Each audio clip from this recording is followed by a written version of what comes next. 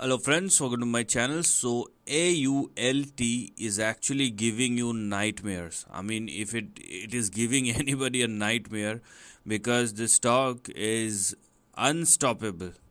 And when I'm saying unstoppable, it is on the way negative than one can think because the stock is not even sustaining at or above the levels you know which you can clearly see so when we do talk about AULT stock, you can clearly see the price action and how it's been trading. So I mean it is very very serious as far as the price chart is concerned and you can clearly see the stock is unable to hold on to even a minor support that it has created. So it displays the kind of weakness we have for AULT stock moving forward. So for the time being, we have our resistance at 0.14 because it was your previous support.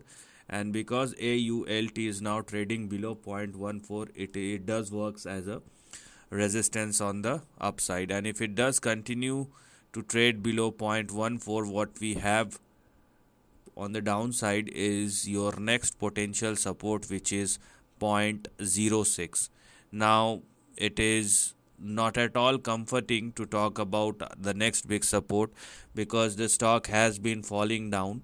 And if you think that the current low is the final low or there is uh, i mean from here this is going to be uh, the end of the downside or something like that or how far it can go on the downside these are all foolish things.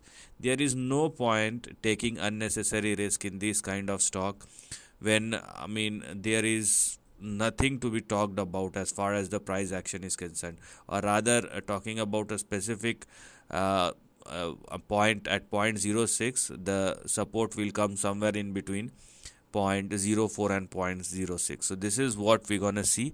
But this is extremely uh, I would say risky to deal with this kind of stock. So stay out of it. This is the end of the video. Thanks for watching